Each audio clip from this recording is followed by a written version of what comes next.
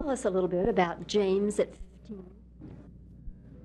James at 15, it's a, it's a story about a 15-year-old and what he goes through. Uh, it's just about what most 15-year-olds go through in life. Uh, it's a good story. It's very real, and I enjoy. I think that uh, grown-ups and kids will both be able to relate to it. Example of the kinds of things that we'll deal with. Yes. Uh, well, what he's done on the swim, winning some swim races, the uh, he's trying to get a girl as his first girlfriend, and they're working that out so that they can have uh, kids together, and conflict of having to move to Boston and leave all his friends in Oregon, and uh, just conflicts and and uh, joy that he goes through in his life. What age are you? 16. Okay. Now, the script was, I'm sure, but, okay? Yes, by Dan Wakefield.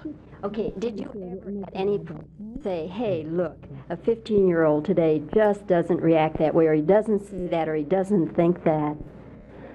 Well, actually, Dan wrote a very real. Surprised when I when I had read the script first. The most realistic script, the most this it was more like a real story what 15-year-olds go through than anything I'd ever read. Really his point of view and every and he really got to reality very uh, well. it's hard to explain. Yeah, just about right.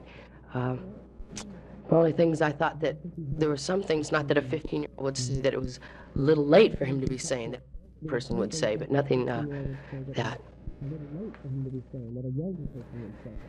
Let me let me start this again. Um,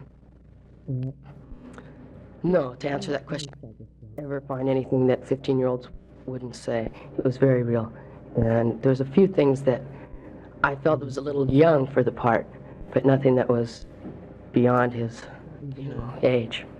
So you feel then, if I interpret what you're seeing correctly, you can go to your friends who are your age with your head held high and not have to make any apologies for anything that's in the script, right?